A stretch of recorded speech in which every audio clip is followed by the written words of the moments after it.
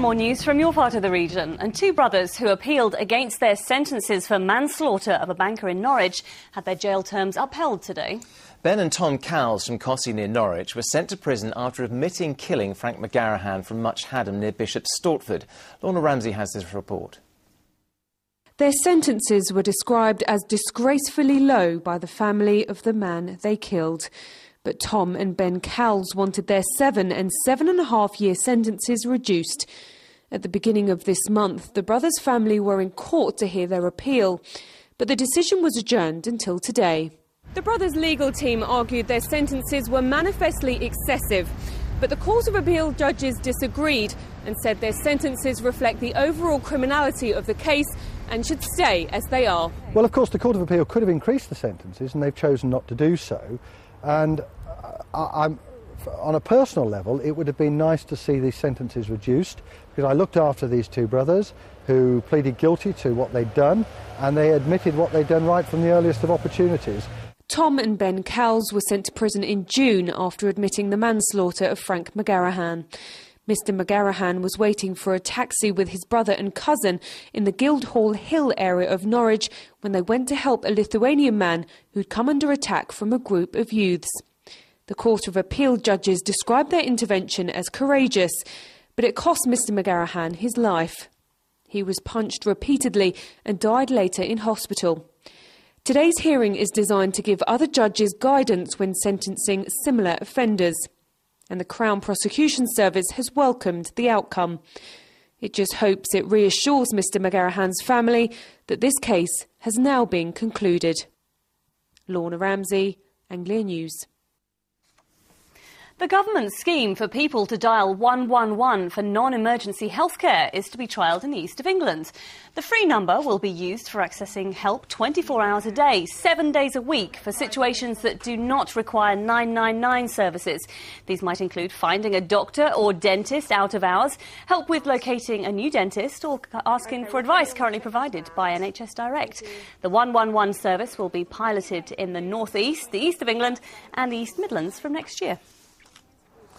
A family from Stowmarket face a difficult Christmas after their house caught fire early this morning. The couple and their four children living in the terraced home in Cherry Tree Road all escaped unhurt when the fire broke out on the first floor. The building was badly affected by smoke and the family now say they'll have to spend Christmas with friends. Football now and our league clubs are due to play their final game before Christmas tomorrow. But will they be affected by all of this weather we're having? Donovan Blake has our Friday preview.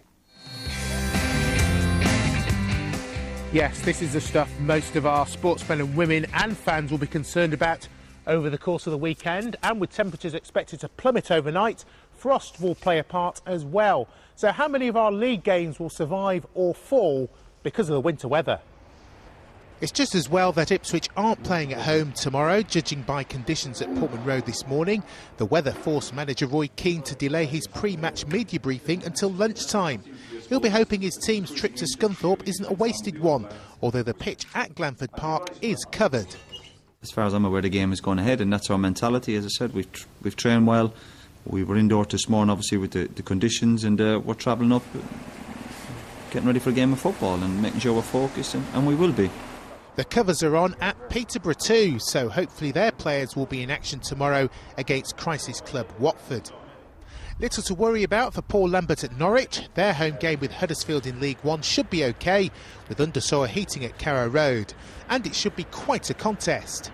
We're playing very well at the minute, and if we keep going the way we're going, hopefully we'll win it. But I know it's Huddersfield are going going well themselves, but that's not to uh, detract from what we're what we're doing ourselves.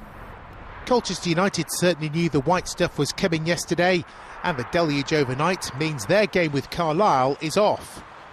For Southend's players, overnight frost is the big risk to their fixture at Exeter, but as things stand, that game is still on. Donovan Blake, Anglia News. Three friends from Norfolk who couldn't bear to say goodbye to a pair of reindeer they'd cared for since birth have begun a hectic festive schedule to help pay for the animals' upkeep. The reindeer have been visiting schools, fairs, and care homes, getting people in the festive mood, as well as making enough money to pay for their annual upkeep. They were supposed to be sold by an animal park, but were kept after their carers raised enough money to buy them and basically borrowed money from parents and just begged for it until we clubbed it all together and had enough for them. We'd seen them born on the park, so we've been looking after them for a year and a half and just got a bit attached to them, really. How could you not be? There didn't get them here, did we? That no, we'd love to have seen those. Now, drinkers cost one hospital in Norfolk more than £40,000 over last year's festive period. That's according to new figures just out. 258 patients were treated at the Norfolk and Norwich University Hospital for alcohol-related injuries. The hospital said 68 people attended the department on New Year's Day alone. The alcohol-related problems included assaults and associated injuries, collapsed patients, overdose patients, alcoholics taken ill, road traffic collisions and injuries from falls.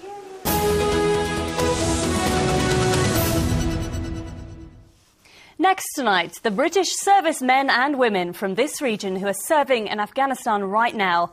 Hard on their families at any time, but especially so at this festive time of year. Well, between now and Christmas, a special series called Far From Home is running across ITV1. We're linking up with British troops in Afghanistan and their families back home on this morning. GM